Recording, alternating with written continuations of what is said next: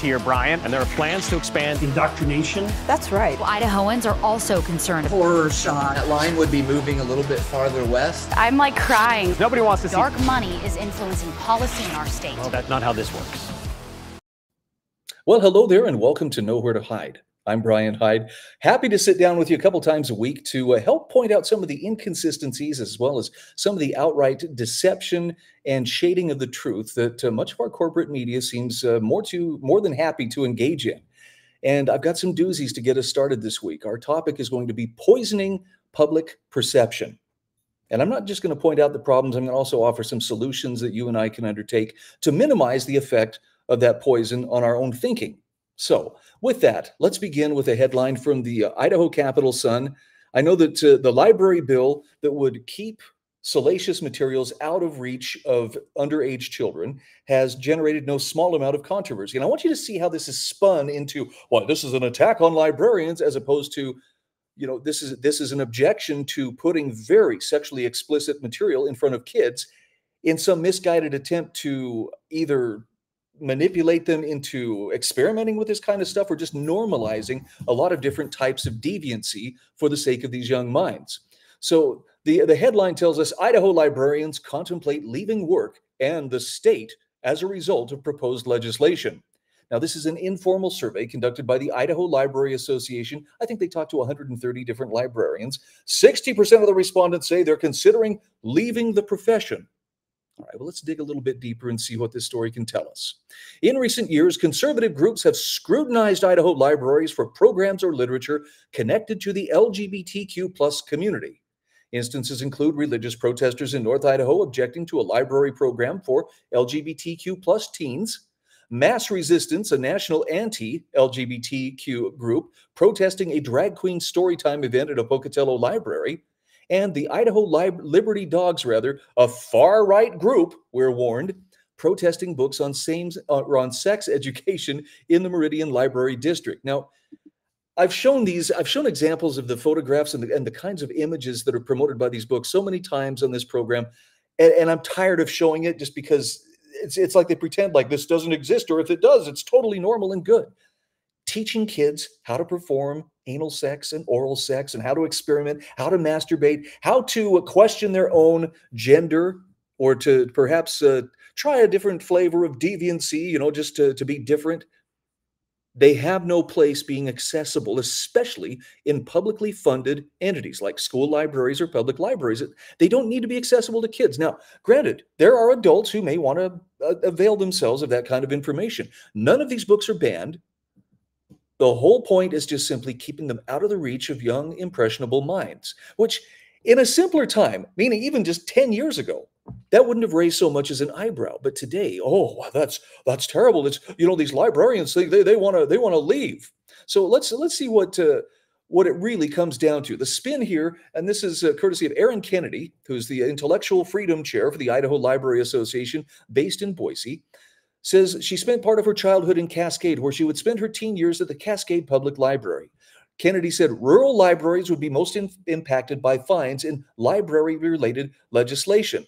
It's very simple to avoid the fines. You don't need to reinvent the entire wheel here. All you have to do is make sure that these kinds of books are kept out of the reach of underage kids. Very simple. Well, the way the bill is written, Kennedy said, children who are LGBT LGBTQ plus or have families with LGBTQ plus members will be disproportionately affected. That's a big segment of our community that's not seeing themselves reflected at the library. And in fact, they're being told that their identities are not appropriate. Okay, I hate to be the guy who has to be the heavy here, but if your identity is based on whatever sexual act you seem to find the greatest happiness in, you should probably rethink what your identity really is human sexuality is is a complicated matter and it's a, it's a very strong matter in the sense that people can become fixated on things that are entirely inappropriate or unnatural or even just obsessive. But we don't need to make that material available to kids. And and i have to i have to point this out. You know she, she talks about how uh, they, they worry that they're not going to be told that their identities are appropriate and they're not seeing themselves reflected at the library. Well you know where else they are seeing themselves reflected? Pretty much every bit of mass entertainment, mass media, uh, popular media, music, etc., corporate America, parades. Every, I mean, they're not seeing themselves represented. Oh my goodness, why they're about to vanish from existence. Hardly. Anyone who's lived through the month of June through September, which is now uh, morphing from Pride Month into Pride uh, era, can tell you that look when you have when you have basically all of the media most of political organizations or institutions and, and corporate America on your side, you are hardly a persecuted minority. Again, this is a very clever pivot and deflection away from what is appropriate versus what is not appropriate for underage kids. Nobody's telling adults if that's how you want to get your jollies, knock yourself out. In fact, people have done this pretty much for time immemorial. The, the difference is they kept it to themselves. There were some things that were kept private. I think it was uh, Sir William Blackstone who talked about how, look, vices are mistakes that people make in their search for happiness. Wait, that was Lysander Spooner. What Blackstone said was vices do not need to be the subject of public law until you bring them out into public. In other words, he used the example if a man is a drunkard in his own bedroom, primarily he's the only one who's being affected and therefore the public laws have no hold over him but when you bring your vice or you bring your particular perversion or fetish out into the public and demand that everybody else respect it and honor it as part of uh, recognizing who you are. I'm sorry, not only is that narcissistic, but it's wrong. And sadly, it's now appropriate that uh, we have the power of the state intervene to set boundaries and say these are things that will not be crossed. If you do cross this, they're talking what a $250 fine to uh, to put things right or to motivate uh, librarians not to make this kind of material readily available to underage kids. But isn't that just sweet? The whole idea of well, but they're going to leave the state. They're going to march right out of here if if if people don't uh, don't kowtow to to their demands. Look, if people were demanding this, that would be one thing. But the people who are demanding it are a tiny, tiny segment of the society, which for some reason has mistaken their credentials for the grand poobah of all creation. And they believe that unless people are validating them with every breath they take, somehow that's the equivalent of we're trying to silence them or we're trying to to uh, relegate them into nothingness. Look again I, I don't mean to be rude. Whatever brings you happiness as long as it's peaceful and it between adults that is your business. But don't bring it out into the public and expect everybody to acknowledge you and pat you on the back and tell you how great it is. You don't have the right to force people to do that. You certainly don't have the right to try to indoctrinate indoctrinate their children into believing that this is all good and normal and boy it's probably something you know they should be participating in as well how sad that we have to speak so bluntly but I, i'm just telling you what you do to find your sexual satisfaction is your business you should keep it your business and not make it everyone else's business it doesn't improve our lives in any way and as you're starting to find out some of you who have been especially vocal I'll be damned if you're going to do that to my kids. If you're going to try and teach them that that's good and normal. Let me hop off the soapbox. We'll move on to another topic here. Oh, look, KTVB assures us that America's economic outlook is brightening as inflation slows and wages outpace prices. Okay, I got to ask you, are, are you really feeling like, oh, yeah, things have gotten so much better? I mean, I have seen gas prices come down a little bit, but that still doesn't offset the sticker shock every one of us feels every time we go to the grocery store. In fact, I want to I want to turn to Mike Maharrey, writing for uh, Money Metals Exchange he has got some great insights here, starting with the powers that be claim rising prices don't actually hurt the average person because wages rise along with prices. And Mike says, yes, you have to pay more for everything, but ostensibly you're earning more, so it's a wash. You're no worse off. Now, he says, of course, you know you're worse off because you're living it. And he says the data proves it. So here's how that works. The truth is, earnings rarely rise at the same pace as prices. Wages almost always lag significant, significantly. That means price inflation puts a significant squeeze on your pocketbook, at least in the short term, until or if your earnings catch up. And if you happen to be somebody living on a fixed income or savings, you're really screwed as inflation rapidly eats away your purchasing power and your income streams don't increase at all. In fact, he comes right out and mm. tells us price inflation always causes the most pain for the poor and elderly. But the government people and their supporting cast in the media and academia need the inflation tax, so they try to tell you that everything is fine. And this is one more reason why it's so difficult to trust the media on, on not just this, but, but a number of different topics. In fact, uh, here's here's something that uh, I don't know. Last I talked about this a couple of episodes ago about how the Idaho Statesman was laying off a big chunk of their workforce. Well, this week it's the Los Angeles Times laying off more than 130 journalists. And I know it's it's not right to celebrate and to take glee in somebody else's misfortune. But I do I do appreciate Frank Fleming's observation. I can't believe the reaction I'm seeing to journalists losing their jobs. A lot of people are celebrating the misfortune of people who wanted nothing more than to report the facts and occasionally destroy anyone opposed to their politics. So if you wonder, where does that animosity towards the, the media or towards journalism in particular come from? Well, there you go. There's a big pregnant hint about where it comes from. These are the people who, you know, printed headlines like it may uh, it may be ghoulish to celebrate the deaths of the unvaccinated, but it may be the right thing to do. Do you really think you could you know print headlines like that and then just sit back and expect everybody to support you in your moment of need? I'm sorry but you know karma is exact and this may be one of those cases where what goes around comes around you know i feel bad for their dependents i feel bad for the people who depend on them to bring home a paycheck but if you were participating in that uh, you know being a, a you know an enforcer or an inflictor of social pain on the non-compliers you kind of deserve what you get so you know, maybe go crying to somebody else. Now, I want to talk to you a little bit about how the media poisons public perception. And for this, I want to turn to the great Paul Rosenberg. In a recent article, he talked about how we need to step away from the, the status quo. And he gives an example of why this is so, citing a recent article in The Guardian, a major UK newspaper, responding to the protests of German farmers by declaring repeatedly that these farmers are refusing to pay for their pollution. That's their take. Now, he says the sanctimonious writer of those words expects farmers to grow immense amounts of food while never involving fields, fertilizers, or machines. This post and many like it are the ravings of neo intellectuals who've never built anything, but who get ahead by tearing things down. Again, very descriptive of the journalist class. Reality is a non factor in their pronouncements. And the people who accept such ideas then are sowing unreality into a brain that struggles constantly to recognize reality. So he says, I think it's quite fair to call this poison.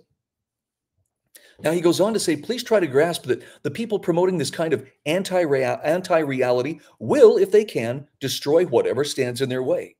These are the same people who wanted to deny medical care to anyone who dared disagree with them and were happy if someone who didn't comply with them died. That's how serious this is. These people have already demonstrated their willingness for non-compliers to die. That's the same psychology that drove inquisitors and their heretic hunts. The names and titles are new, but the pathology is the same. He says these people operate not by reasoning with you, but applying social pain. Their job is to sow the terror of being shamed and rejected and punished, and their floggings are to be delivered not by policemen, but in a far more intimate and effective way by employers, coworkers, families, neighbors, Facebook groups, and so forth.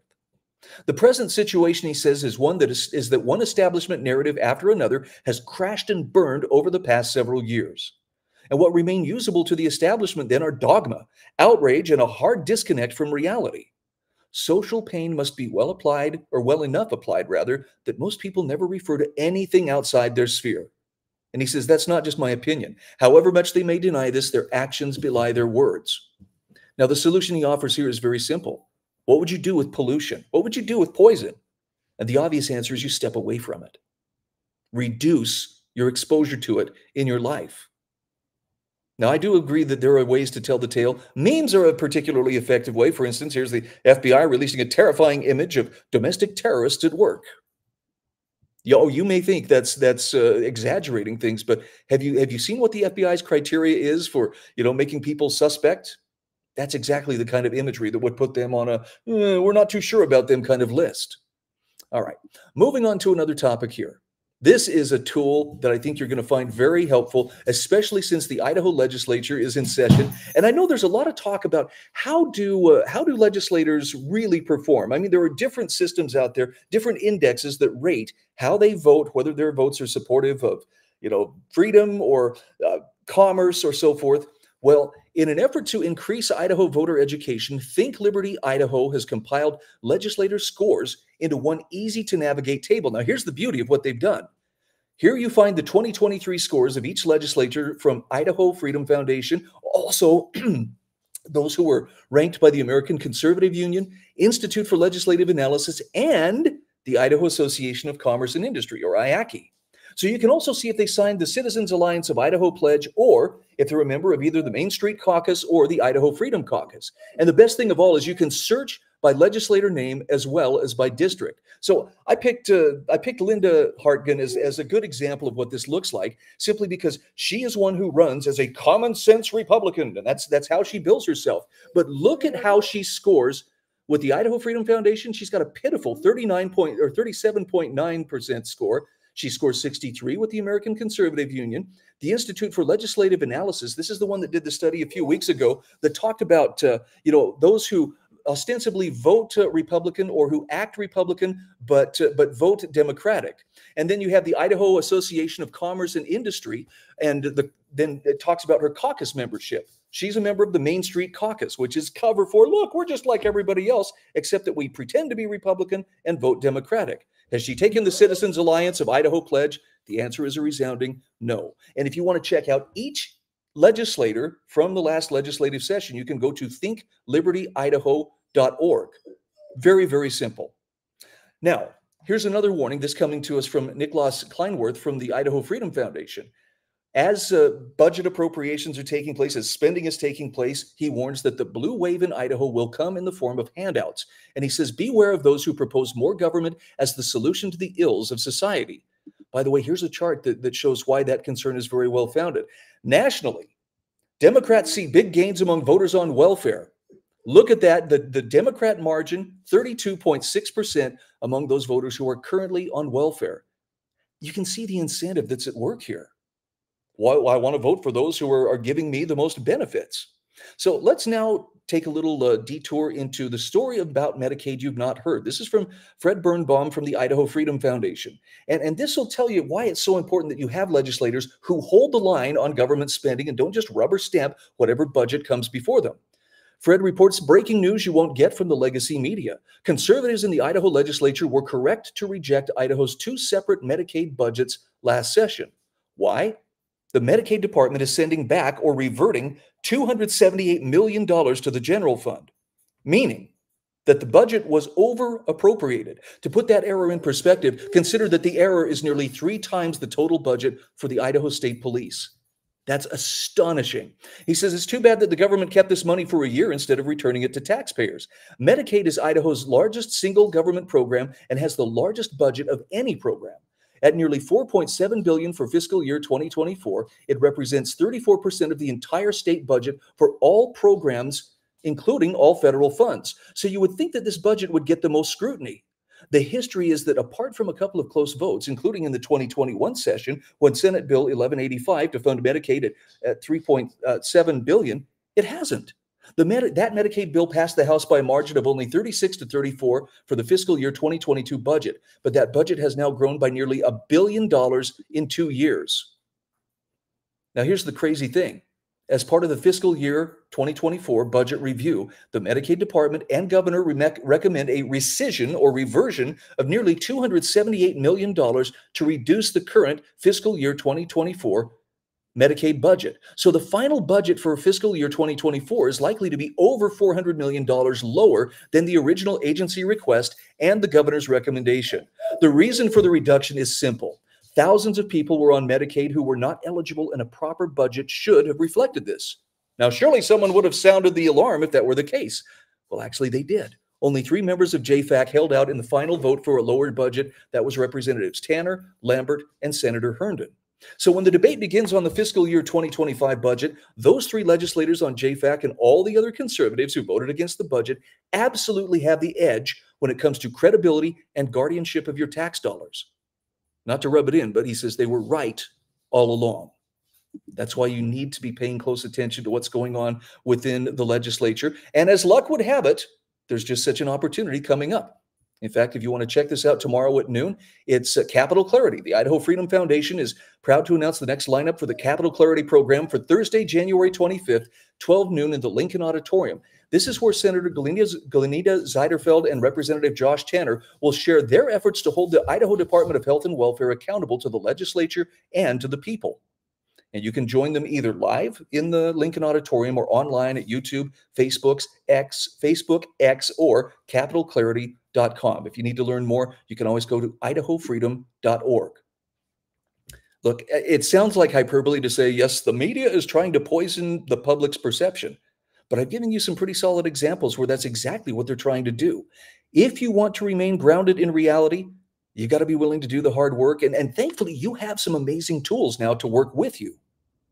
So consider using those tools, consider being a healthy skeptic, and I'll see you on the next episode of Nowhere to Hyde are biased, the Idaho Press Club are biased, all media, newspaper, radio. To be completely blunt here, Brian, and there are plans to expand indoctrination. That's right. Well, Idahoans are also concerned. Horror shot. That line would be moving a little bit farther west. I'm like crying. Nobody wants to Dark see money is influencing policy in our